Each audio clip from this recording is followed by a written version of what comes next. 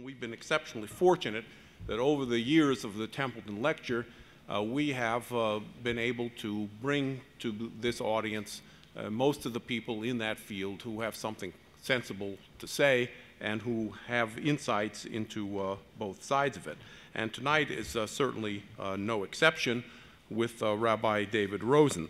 You have, of course, in front of you something of his of his uh, achievements, and I'll just say a few. He was born in Britain and educated there. He received his ordination in Israel. He did military service in the Israeli Defense Force Armored Corps, and no doubt he found his experience there uh, very useful for his next two positions uh, senior rabbi of the largest congregation in South Africa and chief rabbi of, uh, of Ireland. When he returned to Israel after the uh, Ireland uh, post, uh, he served as dean for the Sapir Center for Jewish Education and Culture. He was a member of the Bilateral Commission of the State of Israel and the relationship with the Holy See, and in that capacity worked on the ground uh, the uh, enormous achievement uh, when the Vatican did recognize uh, the, the State of Israel. Most recently, he's been the, and I think you still are, the International Director of the Interreligious Affairs of the American Jewish Committee, and I just learned today that uh, Rabbi Rosen is the newly minted president of the International Jewish Institute for Interreligious Consultations. Now, so th for those of you not familiar with the arcana of, of uh, Jewish organizations, uh, this is the equivalent of being president of the president's organizations. All those Jewish organizations that have some kind of interreligious discussions have come together in a group and Rabbi Rosen is now the president of it.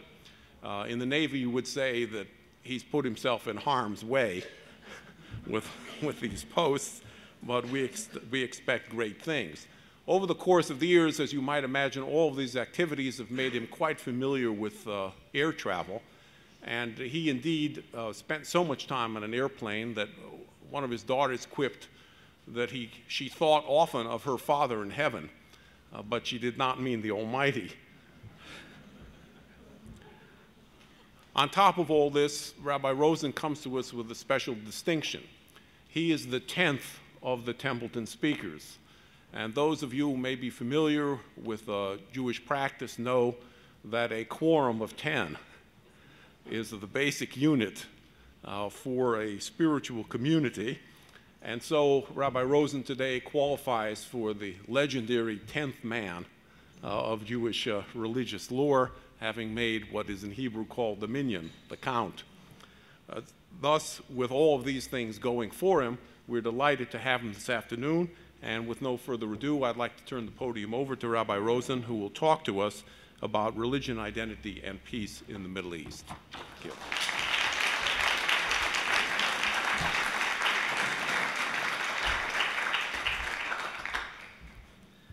Thank you very much, Dr. Sicherman, and to you all for the kind invitation to give this illustrious address, especially to Jack and Pina Templeton, whom I think are probably directly responsible for my presence here this afternoon. Um, apropos being the 10th, I'm reminded of the story, you know, sometimes in little Jewish towns, when they needed a quorum, not everybody was available for prayer time, especially if they were praying three times a day. So sometimes a person was paid in order to make sure that he would be there as the tenth man. And they would often refer to somebody as a minyan man, because uh, minyan is meaning the quorum. So he was the man who would make up the ten in the synagogue. And the story is told of a man who comes to court to testify in a case. And the judge says, Give us your name and your profession. He says, My name is Abraham Levine, and I'm a minyan man. And the judge says, What's a minyan man? And the man says, Well, Your Honor, when there are nine, I come and there are ten.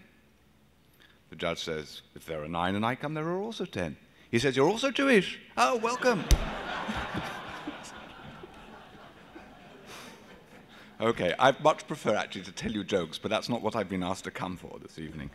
And um, I would uh, like to tell you about certain initiatives and developments in the Middle East at what I think are very momentous times, where there are unique opportunities that very often, in the course of the hustle and bustle of ongoing activities, are not only not known, but are often um, so sheltered from the public view that I think people often get a distorted perspective on reality. So I would like to tell you about some of these and where I think, in particular, um, this process should go, and to some extent give it a little bit of a theoretical or a little more theoretical context to place these developments in. While it's true that most conflicts that are portrayed in religious conflicts in the world are, are nothing of the sort, whether we are talking about conflicts between Hindus and Muslims in Kashmir, or Buddhists and Hindus in Sri Lanka, Christians and Muslims in Nigeria or Indonesia, Protestant and Catholics in Northern Ireland, or between Muslims and Jews in the Middle East. These conflicts are, of course, not at all religious conflicts in their origin. They don't have any theological basis for the conflict, at least their origins are not in any theological basis. They are all territorial conflicts in which ethnic and religious differences are exploited and manipulated, often mercilessly. However, this fact still begs the question why and how is it that religion is so easily exploited and abused? Why is it that in so many contexts of conflict in our world, religion appears to be more part of the problem than the solution? The answer, I believe, to a large extent, is to be found precisely in the socio cultural, territorial, and political contexts to which I referred, in which these conflicts take place. Because religion seeks to give meaning to our understanding of whom we are, it is inextricably bound up with all the components of human identity, with the circles within circles that make us who we are. It seeks to give meaning to who I am as an individual, who I am as part of a family, who I am as part of a community, who I am as part of a nation, who I am as part of the wider humanity. So it's bound up with all these different circles of human identity. These components, of course, of human identity are the building blocks upon which our psycho-spiritual and psychological uh, and, uh, and inner security and stability depend. We ignore them at our peril. Those that think that the solution to conflict is to eliminate elements of identity have been in for a rude shock, and we can see the consequences of that, especially in modern society, with a vengeance, and perhaps that word is, has a double meaning. Indeed, the importance of identity has been emphasized by both scholarly and popular writers on the human condition that have suggested that much of the counterculture in modern society and problems of drug abuse and of violence and of cults, etc., are in fact a search for identity and meaning on the part of those who are deracinated, who lack a certain stability, security in their identity, who are no longer con connected with these components of identity that we took for granted so much in the past. But in the relationship between religion and identity, the components or circles within circles of our identity affirm whom we are, but they also affirm whom we are not. Their function, whether as positive components determining how we relate to others, or negative in terms of how we relate to others depends substantially upon the context that we find or in which we perceive ourselves to be. Some of you will recall the popular novelist of a few decades ago, Robert Ardrey, who in his book The Territorial Imperative referred to three essential components, needs of the human being, security, stimulation, and identity. And he pointed out that the absence of security provides the stimulation that guarantees identity. That when you have plenty of security, then very often you have a loss of identity. But when you have a situation of conflict, like in war, then you don't have problems of identity. People's identities are in fact reinforced by conflict, which is problematic. Moreover, because religion is so inextricably bound up with these components of identity, then in conflict, religion tends, more often than not, to be part and parcel of this reaction, of this withdrawal, of this often insular, mentality rather than providing an embrace in which individuals are able to relate positively to those outside their community. We might note in parenthesis that the great prophets of Israel, if we read our Bible, have two different roles. The one role is to challenge society to live up to its moral responsibilities and to the ethical vision that the Bible lays down. However, this challenge of the people, often with extremely strong language, is always and only when the people are living what we may say is securely in the land. When the people are in exile, the prophets do not assume the role as chastisers, of rebuking the people for their failure to live up to moral ideals, because the people are in a vulnerable situation.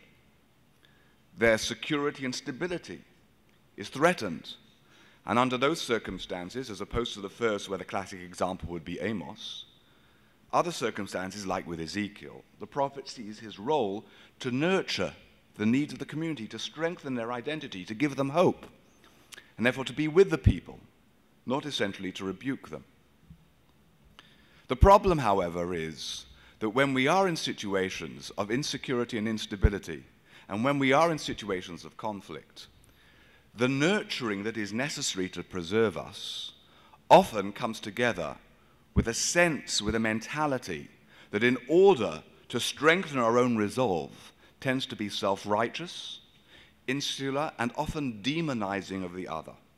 In order to strengthen our sense of our own virtue and of our own legitimacy, there is a tendency to deprecate the other often describing the other, as the historian Richard Hofstadter puts it, as a perfect model of malice. I find the image useful here to explain this concept that I've been discussing, the image of a spiral. These different components of identity, circles within circles, can spiral out and enrich society our identity as members, both individuals and members of families, can be a most wonderful blessing. Indeed, that family is, of course, the most crucial, basic unit, social unit within society. Our identity as communities of worship, of devotion, of various kinds of solidarity can be wonderful blessings for society. If that sense of community in, in, inspires us with a sense of responsibility for other communities and our society, uh, society at large, and so on and so forth.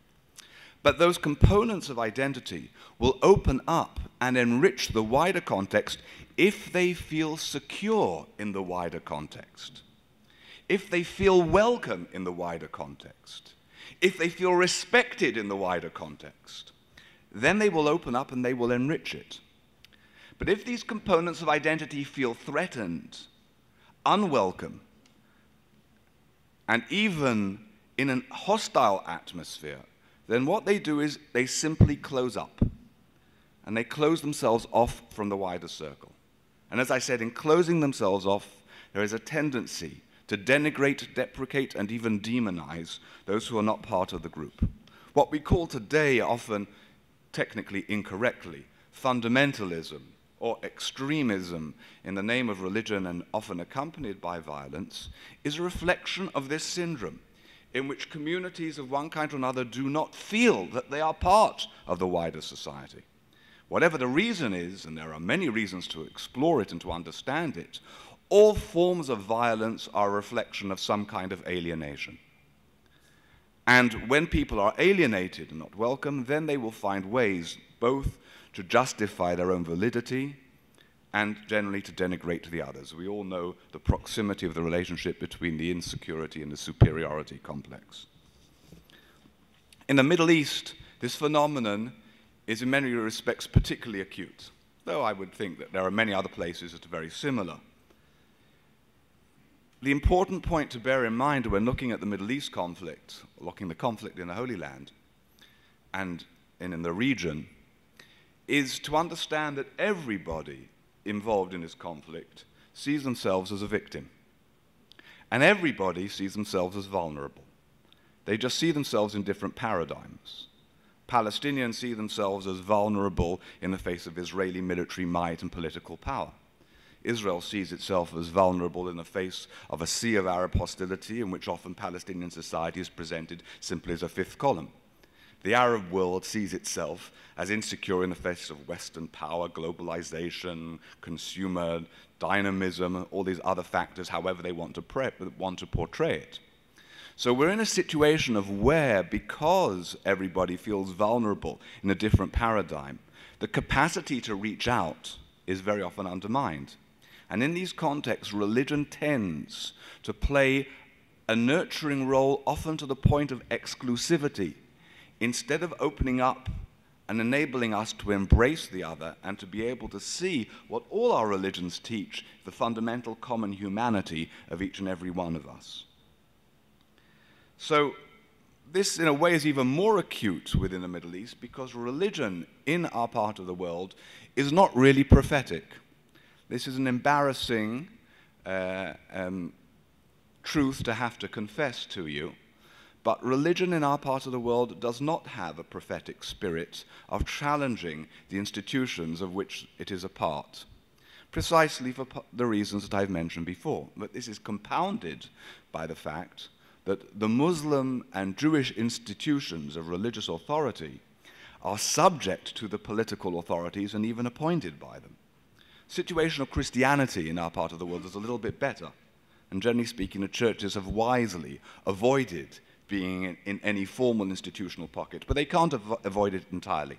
And because they are so vulnerable, caught, as it were, in a double minority situation, they too tend to be caught up by the politicization uh, of the, the conflict uh, as it affects their own religious message. So, because religion has been increasingly associated with a more insular approach within the different communities, and because as a result of that insularity relating to identity where identity feels threatened, therefore often becoming violent and religion even supporting such violence, there's been a tendency on the part of political leadership that have sought to bring an end to the conflict in the Middle East. In other words, those initiating peace processes to keep far away from religion. The attitude has been simple and was referred to in the introduction of our president this evening. The attitude is that religion is part of the problem, therefore, let's keep far away from it and keep them far out of the picture.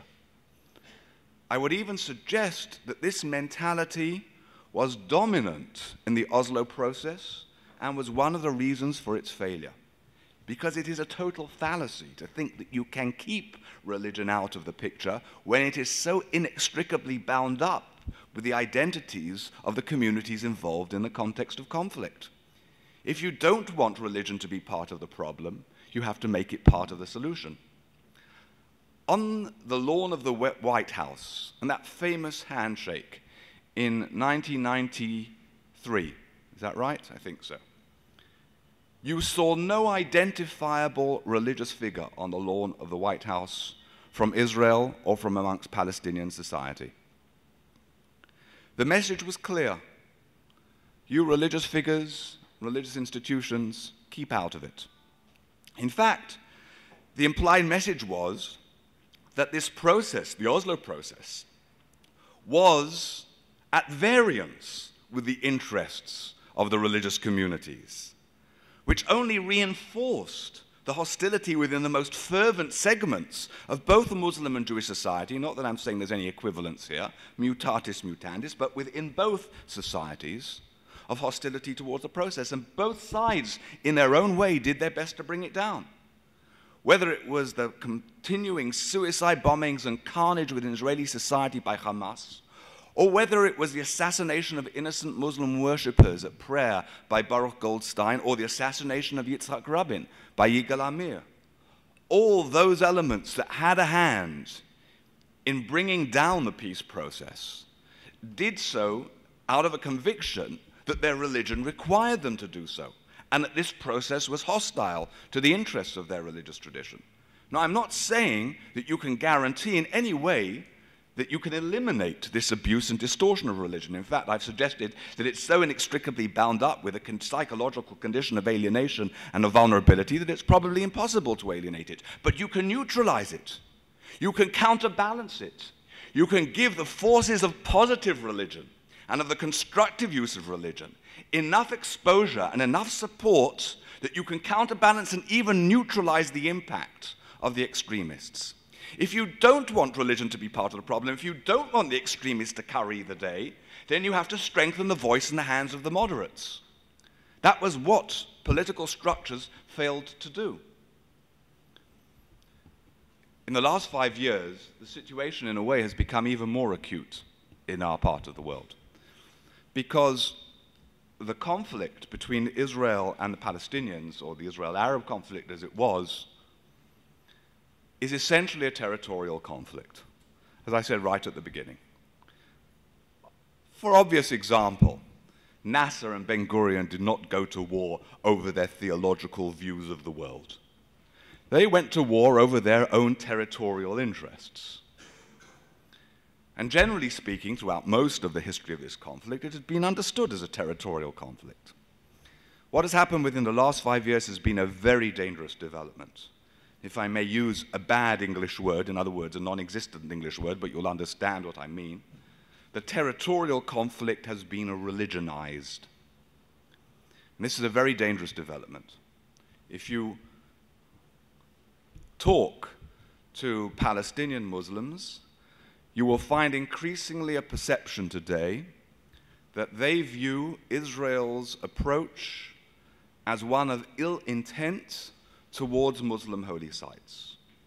They believe, as a result of this internal propaganda, that the holy sites of Islam on the Temple Mount are in jeopardy. In fact, if Israel's leaders would have been a little more familiar with some of the writings and propaganda of Hamas, they might not have opened that tunnel, at least not done it in the way they did, that led to the violence at the time under the premiership of Bibi Netanyahu. But on the other side, Israelis are increasingly convinced that within Palestinian society there is an unwillingness to recognize and respect the bond and the connection between the Jewish people and its holy sites and its ancestral bond with the land and specifically with Jerusalem. And in fact, people like Arafat played into this, even dismissing the idea that there even was a temple in that particular location. Barak at the time gave a very good riposte and asked where he thought that the tables of the money changers were that Jesus turned over. But the result is that you have a mutual use or perception that religion is being used to undermine the place of the other. The fact that these five years, or the last five years until, in fact, the death of Arafat, were known as the Al Aqsa Intifada, the Intifada for the holy sites of the mosque on the Temple Mount, is a reflection of that. This is a very dangerous development because if it's a territorial conflict, we can solve it through territorial compromise. But once it's portrayed as a religious conflict between the godly and the godless, then there's no end to the bloodshed. As a result, I think that there is a dawning recognition of uh, what Doug Johnston refers to as religion as the missing art of statecraft, that you cannot ignore the religious dimension.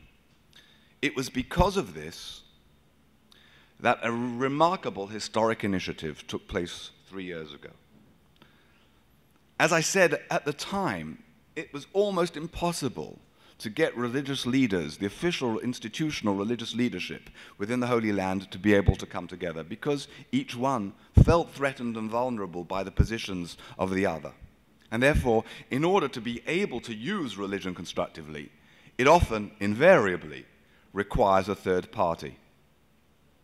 In this case, the third party, providentially, was the Archbishop of Canterbury, Lord George Carey, who took the initiative to be able to bring the religious leaders of the Holy Land together.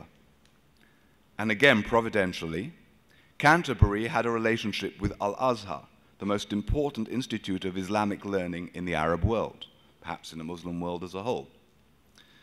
This was particularly important because while the chief rabbis of Israel don't represent even all of Jews of Israel, certainly don't, let alone in the world, and while the patriarchs of Jerusalem do not represent all of Christendom, even in the Holy Land, let alone in the world, no Jew or Christian would have a problem if the chief rabbis or the patriarchs are representing their religious traditions for the purpose of coming to some peaceful recognition and accord that would be to the advantage of their respective communities. But in the case of the Muslim community, the Mufti of Jerusalem or the head of the Sharia courts as the most important chief justice within Palestinian Muslim society cannot speak on behalf of Islam.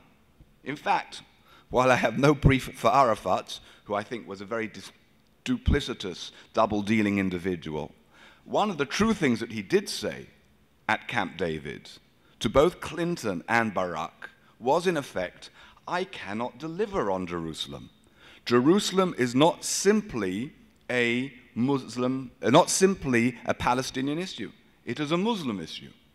And beyond that, and I'll come back to Jerusalem in a moment, but beyond that, there is nobody of stature within Palestinian Islamic society that can speak on behalf of Islam. And therefore, for any kind of encounter bringing the religious leaders together in order to issue a statement on behalf of peace and against violence and encouraging their communities to live in mutual respect with one another, it was essential to have a major Muslim figure host that gathering. The local Palestinians could not succeed, could, did not have the status, do not have the status to be able to achieve that on their own. And as I said, providentially, Canterbury had a relationship with Al Azhar. Lord Carey turned to Sheikh Tantawi, the head of Al Azhar. And unquestionably, the impact of September the 11th, 2001 played a part here.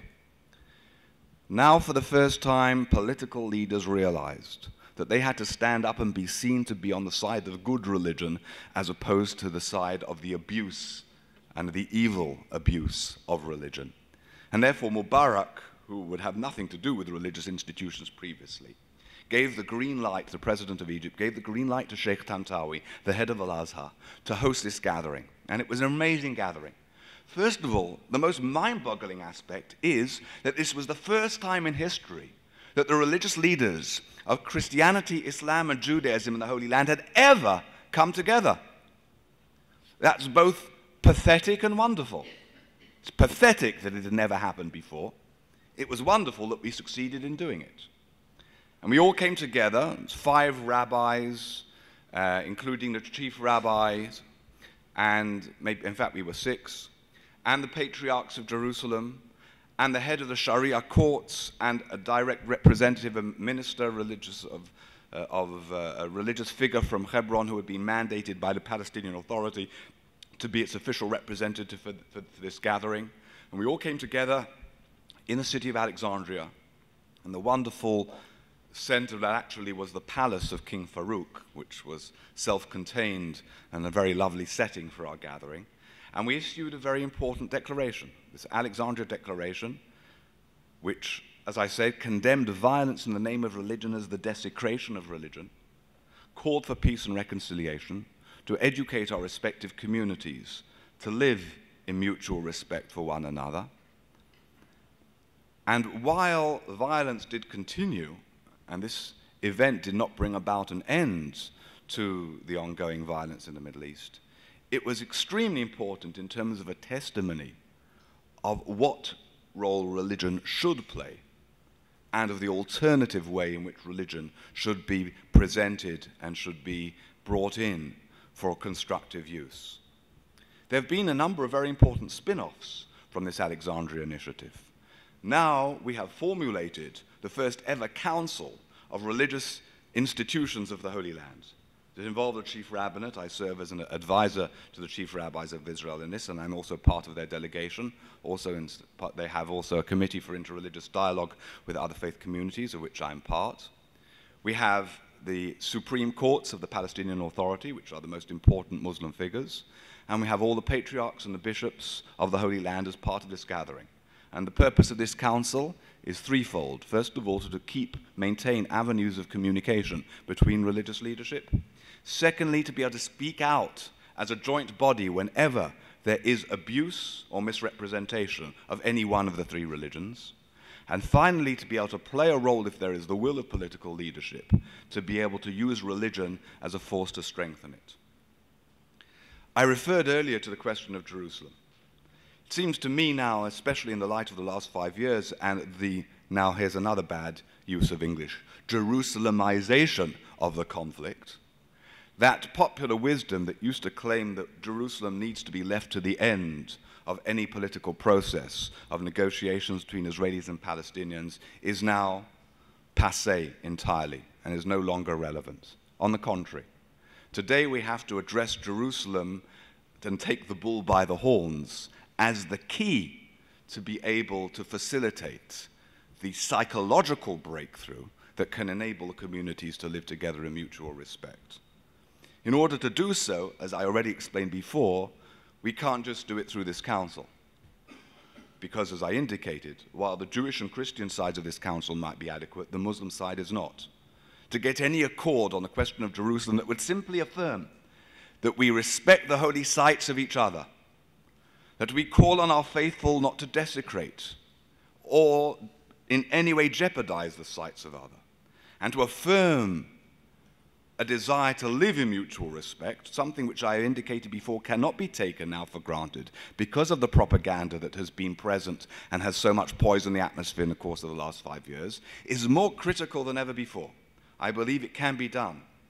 In order to do so, however, we have to work on a much broader level of international political um, initiative because to speak on behalf of the Muslim world, the Palestinians need the additional presence of Jordan, which still claims to have and still does have a special role on the Temple Mount. It, in fact, pays the salaries of religious workers on the Temple Mount.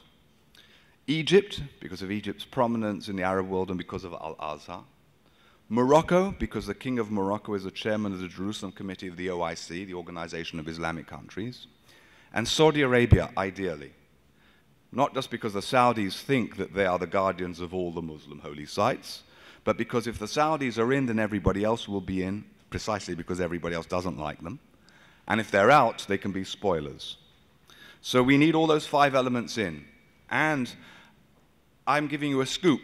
We'll have to see within another, if you look out to see what developments happen within the course of the next year, there is an initiative underway that has already come quite a distance to bring the religious institutions together and the leadership together to be able to issue a declaration on Jerusalem and holy sites that would affirm mutual respect and provide also for the establishment of an interfaith regimen for Jerusalem. Let me conclude by reiterating what has been implicit in what I have said. Religion itself in the Middle East conflict cannot bring about a political breakthrough because religion is so wrapped up with the identities, and because the identities all feel under siege, and because they are overwhelmingly subject to political authority, if there is no will, political will, on the part of the respective leaderships, then religion cannot by itself bring about any resolution of a conflict. But if religion is not part of a process, then the process will not succeed. For any political process in the Middle East to succeed in resolving the conflict, it has to take religion seriously into account. And it is the religious dimension that can provide the psycho spiritual glue that enables political processes to hold together. So, my final sentence is if we don't want religion to be part of the problem, it has to be part of the solution. The day seems to be coming where this understanding is dawning within political circles. And I hope that within the near future you will see something even greater than the Alexandria event, in which religion will be used in a constructive way for the betterment of all the faith communities who both live in Jerusalem and the Middle East and who hold it dear. Thank you.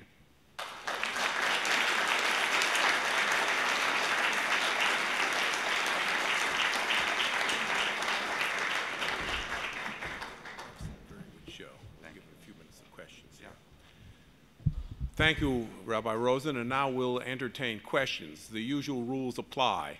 If you have a question, ask it. If you have a speech, don't give it. Please uh, step up to the microphone here, and uh, that way we'll be able to record you for posterity.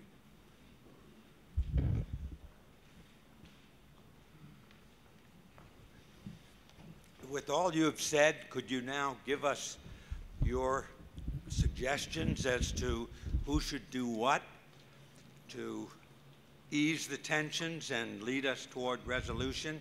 And do you think the Gaza pullback is a good idea and should be followed by others? Okay, so you're asking me actually to step aside a little bit from the area of my presentation, which was focusing primarily on the role of religion, acknowledging that it's secondary to the political authority, but an essential handmaiden. And you're asking me to address specifically the political aspect. There is no question that the disengagement from Gaza has not just been a Rubicon that Israel has crossed, a historic event, but it has completely reorganized, re, um, it has caused the parties, both locally and internationally, to review the way they look at the conflict. There is no question that despite what might be officially said by certain Arab leaders, they were enormously impressed by the pullout from Gaza. And its impact and the way the Israeli soldiers behaved and the way they saw the police and the discipline was, had a, a very uh, significant uh, resonance even within Arab society, let alone internationally. But this is the first time ever that Israel has initiated a policy that not only leads to the uprooting of settlements in Gaza, but also in the West Bank. And this means that what has been done by Ariel Sharon is a statement that the concept or the idea of greater Israel, biblical Israel, settlement in the land, indeed, as I believe, mandated by God to the Jewish people, isn't not realizable in practical, political, economic, demographic, and moral terms. And that, in my opinion, again speaking as a religious individual, is the right religious decision. What he has done has, in fact, is to shatter a dangerous neo-messianic perception that says, forget about demographic and economic and political and moral considerations, we know what God wants. We know the divine agenda. And we can read it in Scripture and tell you the way it's going to unfold. When somebody presumes to know exactly the mind of God and how that is going to unfold and needs to unfold in political terms, one needs to be very, very wary of such an individual or such a group. Such an approach generally is catastrophic for society. And if we would have continued to, to allow this to determine Israeli policy, as it did for many years, it could have brought about the end of the Zionist enterprise. So, in my opinion, what Ariel Sharon did was not just a wise political decision, it was a decision that was essential to guarantee the survival of the Jewish state and to guarantee that we can maintain both a state in which there is a Jewish majority and therefore can be called a Jewish state, and at the same time is a democracy. But to have tried to have hold on, and even to try to hold on now to the whole of the West Bank, is to overextend ourselves. We have to cut our cloth to suit our size. And therefore, the need to be able to find an accommodation of a two state solution is not just a matter of being nice to the Palestinians and recognize their legitimate aspiration for national self determination, all of which I'm in favor of. It is an imperative for Israel's own well being and for guaranteeing its future and its stability. Rabbi Rosen, thank you for a really wonderful talk. Um, two questions. In the, your list of uh, Arab countries that needed to be involved in the solution, you left out a, a non-Arab country, Iran, and I wonder whether you think that they could be a, a spoiler of significance to a solution there.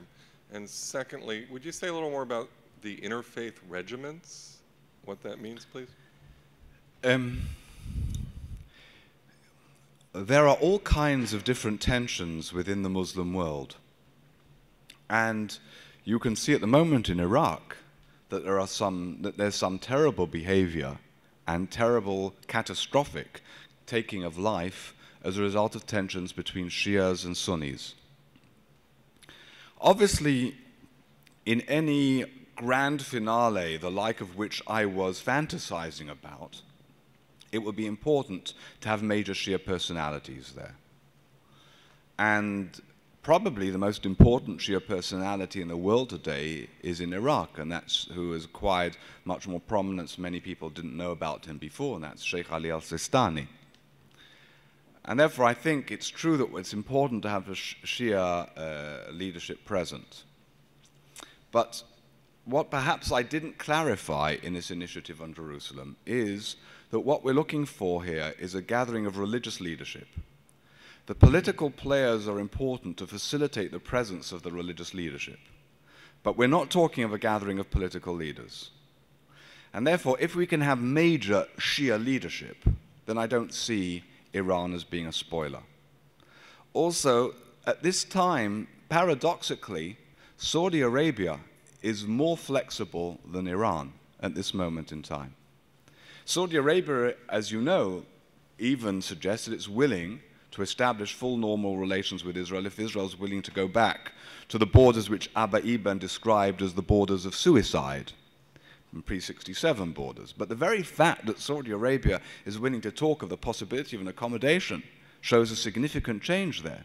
Iran is still far from that. Iran's position is still committed totally to Israel's destruction. Therefore, I don't think there's any possibility that we would be able to get Iran in uh, to support major leadership from Iran. But as I say, I don't think it's too uh, problematic as long as in the finale, when all the Muslim figures are there, we have major Shiite personalities as well. Um, with regards to a regimen for Jerusalem, what, uh, what I mean by this is a modus operandi of interreligious cooperation. That we would have a structure by which Christian, Muslim, and Jewish authorities would cooperate, both in terms of the communication that I mentioned before, both in terms of fighting defamation and misrepresentation, I mentioned before, but also in terms of way they can cooperate of mutual interest. Areas that relate for protection of holy sites, areas that might relate to tourism, uh, areas uh, in terms of relationship between the authorities and defining autonomy for religious institutions. Um, the specifics are less important than creating a dynamic in which the three communities feel that they are working together. Perhaps one of the most important areas could relate to the whole question of World Heritage Sites and ensuring that financial resources to develop major religious sites in Jerusalem is channeled through an interreligious committee so that everybody has an interest in working with the other in order to be able to promote their own requirements. Any framework that can encourage practical cooperation and not simply theoretical dialogue will be, I believe, a blessing for Jerusalem. So that's what I meant by regimen. Uh, Rabbi Rosen, uh, if religion doesn't want to be the uh, problem but part of the solution.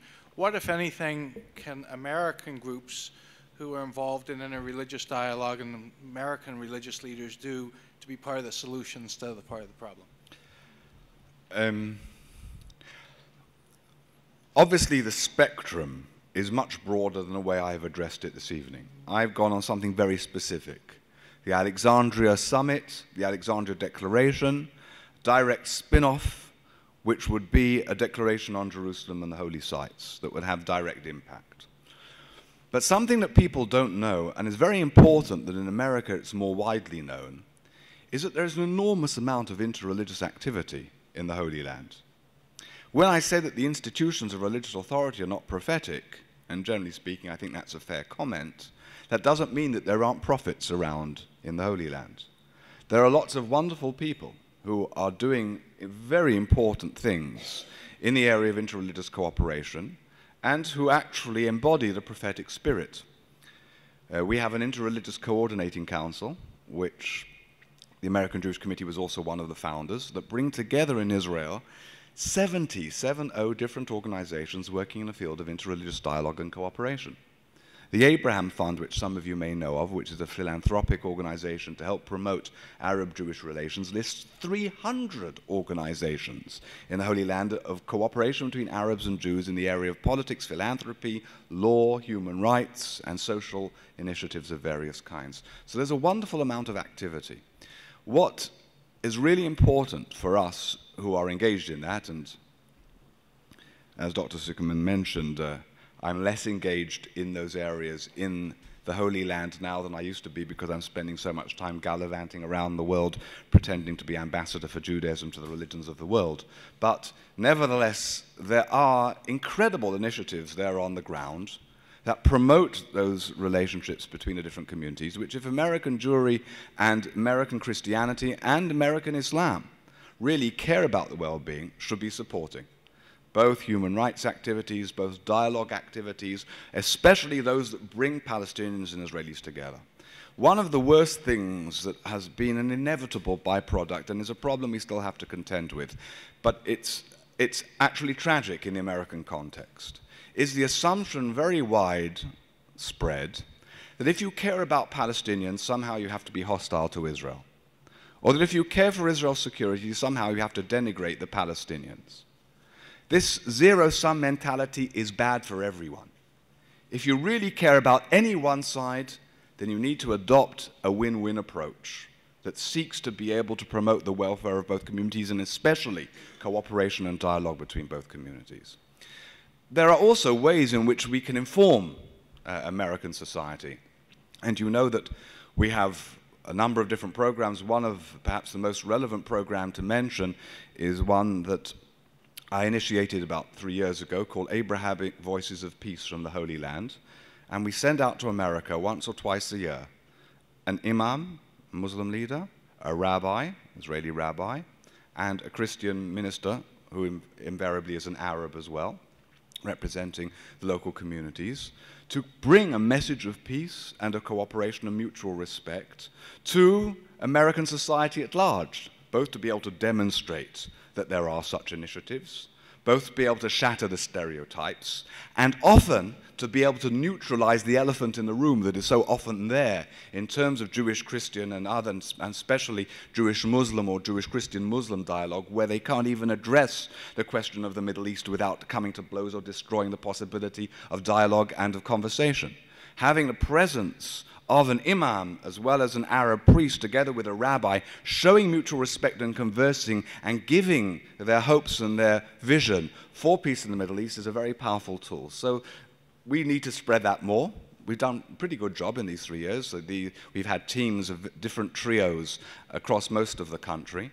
Uh, but I would say, above all, what Americans need to do are to support those initiatives that promote mutual respect and cooperation in the Holy Land. Rabbi, thank you so much for your insightful presentation and for showing us that the religion was the elephant in the living room. I wonder if you could tell us how, uh, when you do get your religious group together and you are able to come to an understanding, how you will be able to uh, prevent groups like Hamas and the more violent ones from still going on and doing their own agenda? Well, I didn't say religion was the elephant in the living room. I said the Middle East conflict was the elephant in the living room when groups want to come to dialogue interreligiously. But as I said earlier, we're not going to, I don't think it's possible to completely eliminate the abuse of religion. Obviously, there are things you can do to dry up the swamp. As I indicated, religious extremism feeds off alienation. The alienation can be economic deprivation, it can be political marginalization. There are various factors. Especially in the Arab Muslim world, it's much more problematic because there's a sense of great historic injustice. You hear Arabs even talking of the Crusades as if they just happened yesterday, Arab Muslims. There's a sense that they have been humiliated and that therefore is need, as I indicated, in order to be able to deal with this, very often to demonize the other. So one of the most important things for us to do is to try to address these economic, political, and social issues, to try our best to make those communities that may feel more marginal welcome in our societies, to engage them, and not to take an attitude that simply because maybe they'll take us for a ride, then we don't want to have anything to do with them. That is counterproductive. By reaching out, you may be able to have an impact. I'm a firm believer in the power of the human encounter. But yet, in the end of the day, we have to be honest and we have to be realistic and recognize that there are plenty of people we're not going to change. And today, people have the power. People are not more evil today than they were in the past. But people today have the power to do evil that they never had in the past due to the accessibility of technology. And therefore, we need to be secure. Therefore, we need to make sure there's effective law enforcement. We need to make sure that there are effective intelligence services and activities. And we need to make sure that we spend as plenty of resources on prevention rather than simply cure. But my main point is that today, the impression one gets, and in fact it's compounded, is that the religions are in the hands of the extremists. Let me give you an example. I was in Indonesia a few months ago, and I, it was actually a conference organized by the Habibie Institute, the former president of Indonesia, and I was speaking on Judaism, religion, and peace. And when I had finished, one of the people came up and said, Why don't we hear more rabbis like you? Why, don't we, why doesn't our press report on these wonderful ideas that you're talking about? Why do we only hear about Rabbi Ovadia Yosef, who says that Arabs' heads should be dashed out on the rocks? Why do we hear about Rabbi Ginsburg? I mean, this is a marginal individual. I was amazed that they'd ever even heard of who he was. Rabbi Ginsburg, who has a yeshiva, a seminary near Shechem, near Nablus, who says the little finger of a Jew is worth more than any Gentile. Now, unfortunately, these comments were true. But they're the only ones they hear about. And all the moderate voices are not getting the exposure. And I find very often there's almost a mirror image within our communities here. Everybody knows about the extremists, but the moderate voices are not getting the proper exposure. If I say to people, generally speaking, do you know what is the largest Muslim community in America? Most people don't know. It's black Islam. If I say, who do you think leads black Islam? People say Farrakhan. That's rubbish. Farrakhan isn't even a Muslim, not recognized as a Muslim. And he represents maybe within those that came out of the um, Elijah Muhammad uh, um, uh, context less than 10%. 90% are led by W.D. Muhammad, who lives in Calumet City near Chicago, who is a modest and peace loving individual who has been twice to Israel as the guest of the State of Israel, who is eager for cooperation, has condemned violence and terrorism time again, and nobody knows about it. Why? Well, partially because if you want to sell newspapers and you want to get media rating, then you want something sensationalist and you don't want something positive. So I can't, don't want to blame the media entirely for it. But it's part of the problem. And therefore, if we want to really create different perceptions, we need to work harder at giving those kind of voices greater exposure. And the more we strengthen them, and the more we respect them, and the more we therefore give, empower them, the more we can neutralize those elements within Hamas and Islamic Jihad and similar which will remain there. But if we can raise the power of the moderate voices, and if political authority takes them more seriously and gives them the profile, then we can reduce the power of it. You can see exactly what's happening at the Gaza at the moment. If the Palestinian Authority gets stronger, Hamas will get weaker. Hamas only gets stronger when the Palestinian Authority can't deliver it. That's why it behoves Israel, the United States, and the Quartet do their best to strengthen Abu Mazen and strengthen the Palestinian Authority. Otherwise, in the end, we'll have no one left to talk to but Hamas. And if we can ever you know, sometimes it's amazing what metamorphoses people go through. But in order to get to that stage, we'd have to go through, unfortunately, a great deal of bloodshed and a great deal of more pain. And I think we can avoid it if we know how to strengthen the moderate voice. Uh, I was very impressed by uh, your paradigm of the inward spiral leading to the insular attitude of religion. And I think about America, uh, us being a non religious state, we just had a bit of a racial riot in New Orleans based on the fact that there was a challenge of identity. And it's been American policy to try to build countries, Afghanistan, Iraq, as non religious states.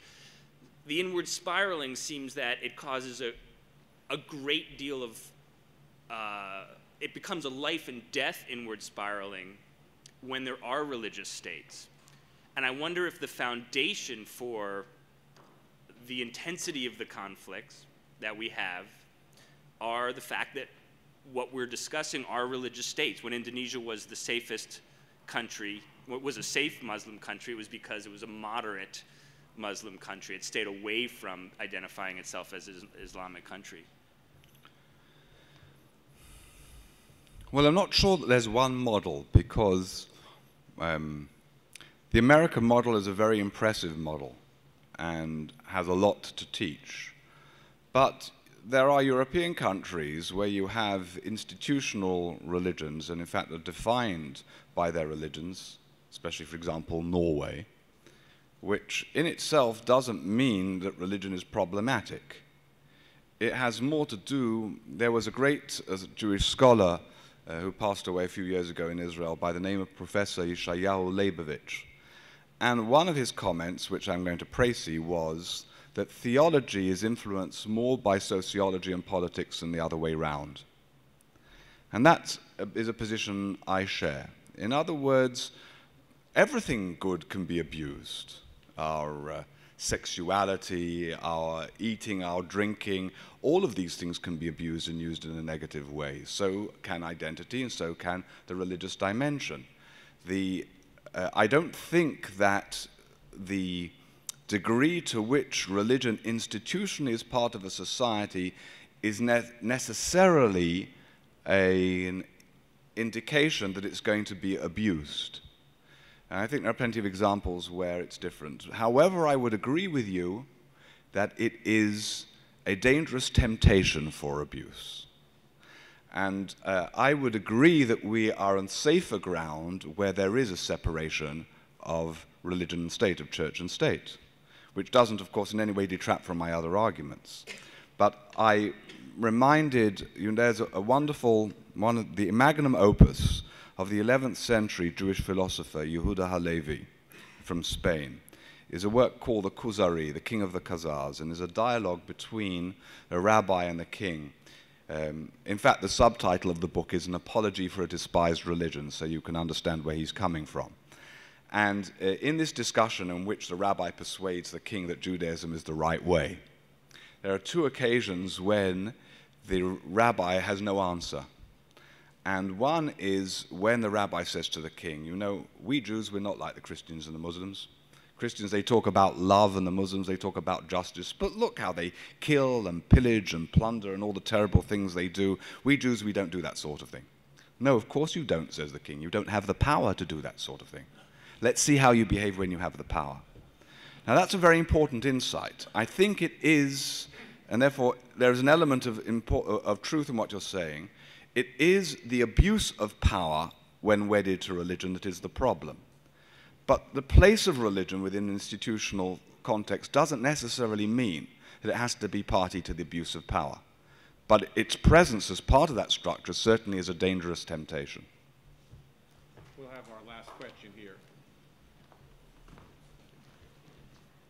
I was concerned about the possible um, strengthening of Hamas by telling them they cannot be part of the elections in Palestine, the alienation that they would feel. Yeah, I think I'm concerned too. I think probably that would only strengthen them and give them more power. It's a very difficult situation, though, to be in, because in some way you're damned if you do, you're damned if you don't. And therefore, the, I would say, and I'm not a political authority, therefore you must just take my opinions with the, uh, the degree of skepticism that they deserve or do not deserve. But that's all the more reason of why I say that I think it's very important for America and for Israel and for Europe and Russia and the United Nations, but especially for America and Israel, to strengthen the hands of the Palestinian Authority so that Hamas can go to the elections, but so that the Palestinian population can see that the Palestinian Authority can deliver.